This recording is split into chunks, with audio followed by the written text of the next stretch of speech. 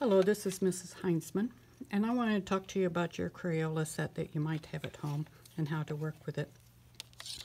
So inside when you open it up, you're going to have a brush and you have a set of colors.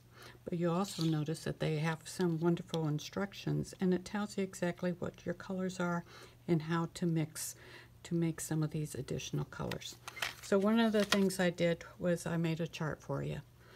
And so the colors that they have are the blue violet, red orange, yellow, and another yellow, and a turquoise, a blue violet, a black, and a white.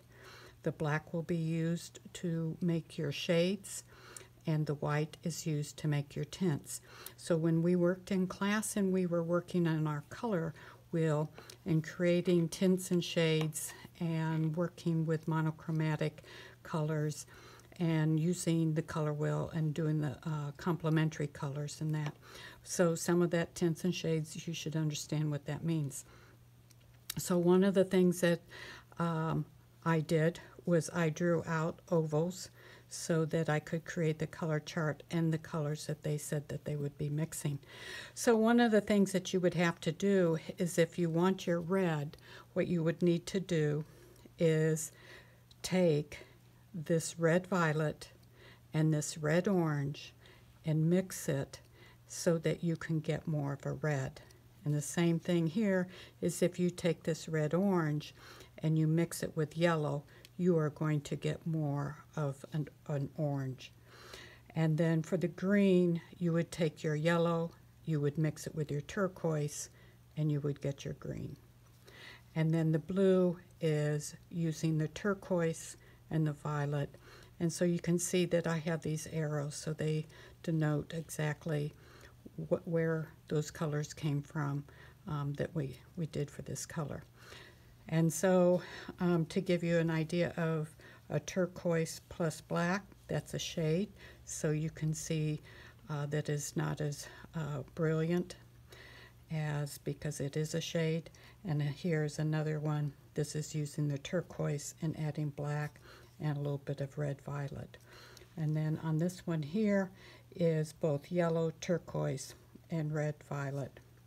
And so it gives you a much darker uh, green that you could use for foliage and that. And so another a tint here is your red and your white mixed together. And right here is your red violet and turquoise. So it's a little bit different uh, shade than what you would see at the blue, uh, the blue violet. So one of the things that you would simply do is if you need to make a chart for yourself is you would kind of come in here and I would take some of this paint and what we want to do is paint it. I paint only half of it. I want to clean my brush, take a little bit of the moisture off, and then I'm just, I'm, with the other brush, with the brush being kind of clear, it's we're just going to let that kind of fade. Clean your brush, and then come in and take your red orange, paint your red orange on here. Again, only half of it. Clean your brush. And then gently have it fade out so you can see how soft that color can become when you need that softness when you're painting with it.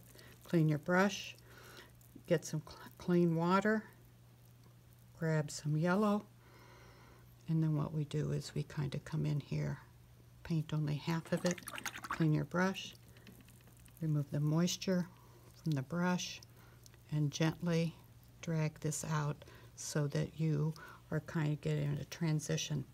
So then what I did was I took this red violet, I put it some in here, and I took the orange, I cleaned my brush, grabbed some of the orange so I don't contaminate it, and then I came down and I paint the red.